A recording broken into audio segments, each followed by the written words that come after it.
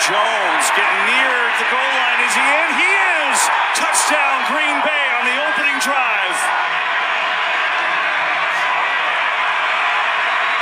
So what do you do when you're coming on the road as the underdog against the number one offense in the league, a team that is just praised on jumping out to quick starts here in Dallas? You win the toss, you take the ball, you put down a really impressive drive, and now you're the one playing from the lead.